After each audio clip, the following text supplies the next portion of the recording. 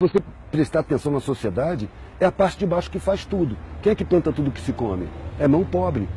Quem é que costura todas as roupas que se veste, de marca ou não? Mão pobre. Quem é que bota a calçada? Quem é que bota os tijolos um em cima do outro? Quem permite que a universidade funcione? É tudo pobre. Quem recolhe o lixo? Quem cata os feridos e leva para o hospital? Quem recebe no hospital? É tudo pobre. Então os pobres são a base da sociedade. Quem é que liga as máquinas? São os pobres. Aí você pega o sistema tributário. Quem é que financia o Estado? A massa tributária sai do consumo. Então o pobre financia o Estado. Os pobres eles constroem, eles botam para funcionar, eles mantêm, reparam, eles sustentam o Estado. E, no entanto, são enganados, são inferiorizados, são sabotados, têm seus direitos humanos negados, seus direitos fundamentais, sabe? Então, são colocados em uso, como se fossem animais. É ali que precisa tomar consciência, porque é ali que está a força da sociedade. Só que está inconsciente. Para isso se nega a instrução, se nega a educação, como no sistema escravagista. O escravo não pode saber ler, não pode ter instrução, porque senão ele se esclarece e se revolta.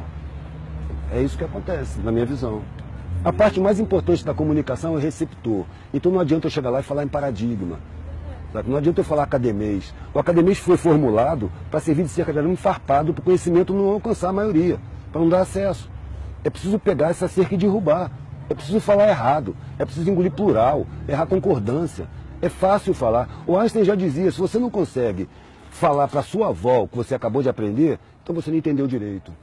Você tem que falar a língua do ignorante, porque ele foi ignorantizado. Quando eu estou diante de um cara desdentado, analfabeto, eu não estou diante do inferior, eu estou diante de, um, de uma vítima de crime social. A sociedade é criminosa. Então, se eu, não tive, se eu tive meus direitos respeitados, eu tenho uma dívida com essa galera, eu não tenho superioridade.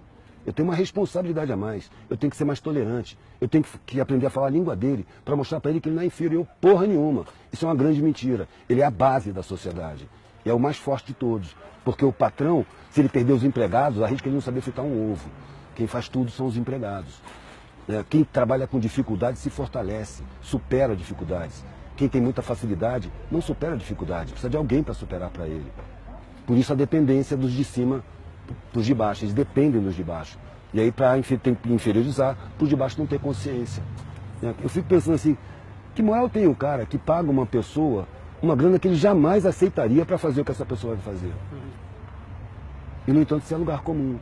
O empresário fala, ah, eu dou emprego, dá emprego cacete, você explora as pessoas, paga o mínimo, corta direito trabalhista, ainda olha para os caras com desprezo. Isso é uma ideia desumano. Sabe, a culpa da sociedade não tem humanidade. A humanidade está na periferia, que divide o último pão. Sem pensar, amanhã a gente vê como é que fica. Você não vai ficar sem comer, não, toma aqui. É isso que é bonito. Eu nasci na elite. Eu fui encontrar a parte mais linda da humanidade na periferia, pedindo comida, dormindo no chão. Ali eu encontrei a humanidade mais bonita. Só que eu percebi, ali está todo mundo ignorantizado, está todo mundo sabotado. Sabe? É uma puta sacanagem, sabe? Eu prefiro falar com os de baixo. Para mostrar que eles não são fracos, não, não são inferiores, não. Eu paro para botar gás na Kombi velha que eu tenho e pergunto pro cara assim, meu irmão, imagina. Primeiro eu falo com o cara, eu chego lá, o cara fala, ô patrão, eu, pô, já fiz alguma merda, mas me desculpa aí, o que, que eu fiz? Eu falo, não, por quê? Tu tá me xingando, velho, patrão. Patrão é um parasita, velho, que trepa nas tuas costas, vive as suas custas, diz que tu que vive as custas dele. Que te esfola, te ameaça, te espreme, te cobra, te paga uma merreca e acha que você tem que ter gratidão por ele. Imagina que seu patrão perdeu os empregados, perdeu o que ele tem, ele tem que ver a sua vida. O que ele faz? 99% das vezes o cara responde, ele se mata. Claro que se mata. Ele não tem peito para encarar as dificuldades. Ele só encontra facilidade, facilidade fragiliza. É a dificuldade que fortalece. Então os mais fortes eles estão inconscientes. É preciso mostrar para os mais fortes que eles são, que eles não sabem. A sociedade não deixa eles saberem. Tá bom? Lindo, meu Deus.